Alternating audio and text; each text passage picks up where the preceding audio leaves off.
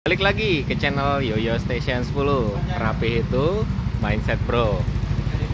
Masih uh, di seputar Honda PCX 2021 160cc Nah kemarin banyak yang request sama saya Untuk uh, komparasi atau membandingkan CVT set atau puli uh, yang ada di Honda PCX 2021 dengan Honda PCX versi sebelumnya Nah, kalau kita lihat ini yang versi sebelumnya. Nah, ada apa sih yang di versi terbaru? Boleh dibuka, Bang Boy?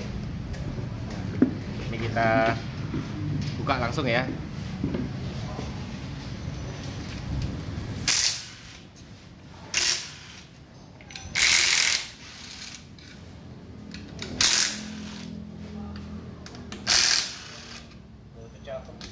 bautnya bagus seperti baut ini ya proti ya.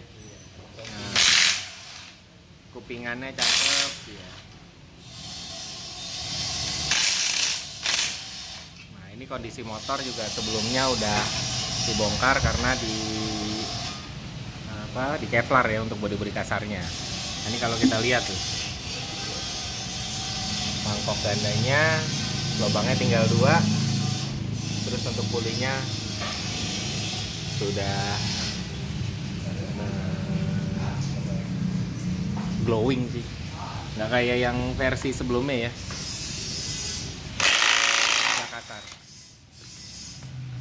Untuk membuka disarankan pakai impact. Kalau sudah terbiasa. Kalau belum terbiasa jangan. Ayo di jejer baris sebelah sebelahan aja boy seperti ini jadi kita head to head kita timbang dulu nanti. Nah ini dia. Masih udah ada nomornya nih. nah. Ini begini aja ya. Oke. Kita timbang. Ini karena karpetnya melendung masuk angin. Nah ini mangkoknya nih. Tadi ya pertama kita tunggu dulu nih ngebongkarnya nah kalau untuk ampas gandanya dipastikan sama ya sama persis ini dibuka dulu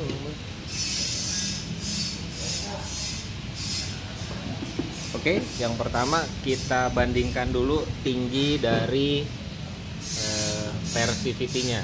Ini kita cari yang rata. Persivity-nya kalau kita lihat kita bandingkan dia sama ya tingginya ya. Yang sebelah kiri ini Honda PCX generasi sebelumnya, ini Honda PCX generasi terbaru.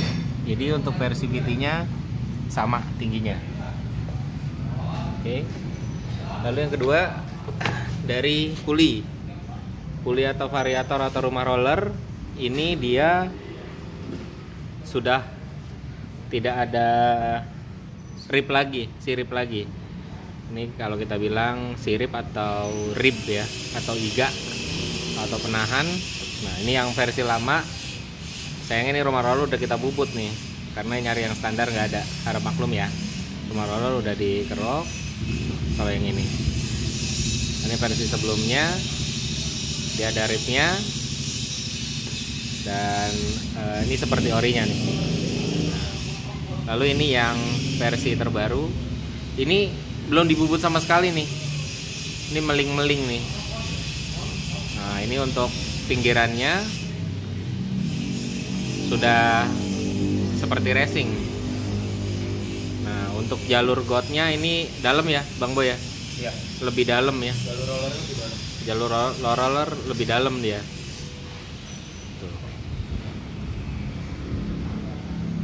Jalur roller lebih dalam, lalu untuk kipasnya ini sama nih, bubutannya udah meling-meling.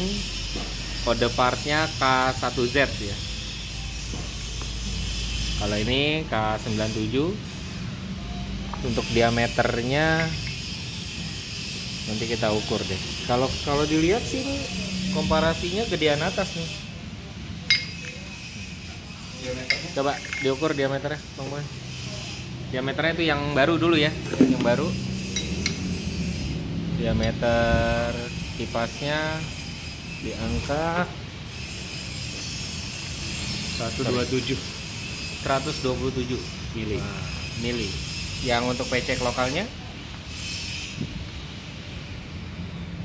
123 setengah 123 setengah mili. mili. Jadi sekitaran perbedaan 4 mili ya. Ya, Diameternya. Rumah roller nih PCX 160 sini 127 127 kita bisa lihat. Oke, yang PCX lokalnya yang 2018 123 setengah 123 setengah. Jadi perbedaannya 3,5an ya. Oke, selanjutnya untuk diameter mangkok ganda, apakah ada perbedaan? Diameter diameter dalam aja ya. dalam ya. Diameter dalam ini 125 mili 125 mili yang diameter lokal dalam. ya yang Untuk old. baru ya yang old. Oke, kita Yang- nyebutnya old ya walaupun baru tiga tahun ya. ya yang baru Yang new 160 124 124. Tapi berarti beda satu mili ya. ya, tapi bisa Bisa ya. Oke.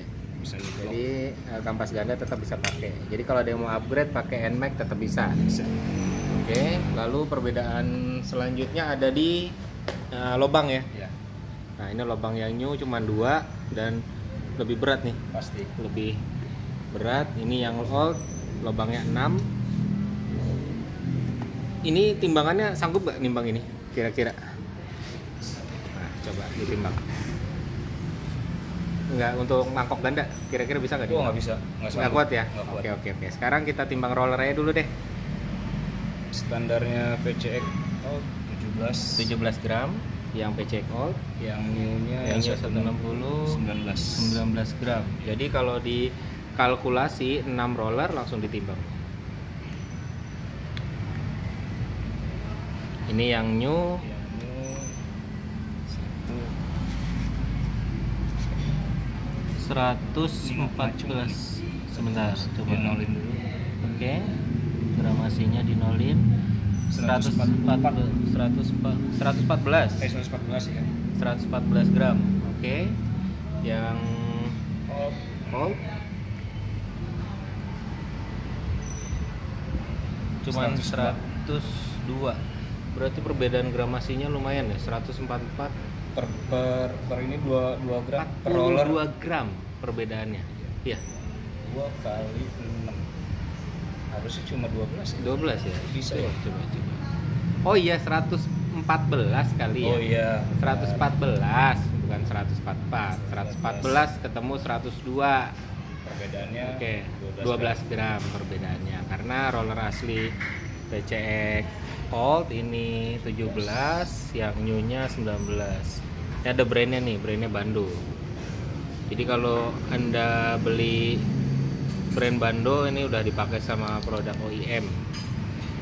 Nah, untuk sliding sama sliding shape sama persis ya. Dari mulai vario 150 125 yang bohlam ya ya sampai ke sininya sama. Udah dipastikan sama ya bang Boy ya? Sama. Slidingnya dalamnya sama. Nah kalau untuk eh, drive beltnya drive belt atau fan beltnya kode partnya berapa itu? Ini kode partnya K1Z K1Z boleh Kalau di panjangnya waduh, panjangnya. waduh, coba beda. ambil yang K97 kita buka yang K97 nah ini ya. Jadi eh, PCX 160 ini lebih kalau menurut saya pribadi sih lebih apa ya lebih ngandelin untuk putaran atas. Karena memang ini sengaja rollernya diberatin jalur rumah rollernya didalemin lalu mangkok gandanya diberatin tujuannya sih kayaknya nih untuk uh, meredam vibrasi atau getaran. Jadi teorinya seperti jalur stang tuh. Jalur stang di motor makin berat getaran semakin hilang. Efeknya adalah pada saat stop and go pasti agak agak lemot. Tapi uh, di RPM tingginya ini nggak nggak terbendung tenaganya nih menurut saya pribadi nah ini untuk komparasinya K97 untuk lebar si fanbelnya ya. Ini bukan K97 nih. Ini yang, K1 jet K1 Jet. ini 22 setengah 22 setengah. Oke. yang K97 Yang yang, K97 old, yang old ini 21 setengah 21 setengah. Beda, Beda 1 satu mili. mili. Beda 1 mili. Panjangnya Panjangnya mana ya oke.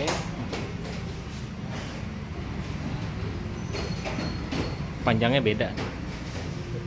sama Sama ya? beda lebar doang Beda lebar ya? iya panjangnya sama persis Oh, panjangnya sama. Nah, menurut Nah, menurut teknisi nih, kira-kira lebih worth yang lebar atau yang kecil?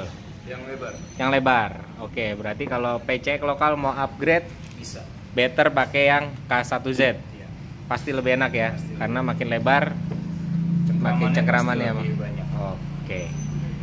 Lalu untuk dimensi puli juga bisa ya, nih dia diterapkan di PCX lokal ya. Hanya saja nih, pere sama ya ternyata ya. Panjang pere sama. Antara 160 dengan Iya, eh, sama beda warna lokal. Beda warna finishing aja. Oke, ini dia eh, sedikit komparasi dari tim kedai Raiders. Tunggu ya. Untuk bagian mesin-mesin lainnya kita akan bahas di video selanjutnya. Oke, untuk oprek mesin juga bisa langsung kemari. Ingat, rapi itu mindset bro. Thank you.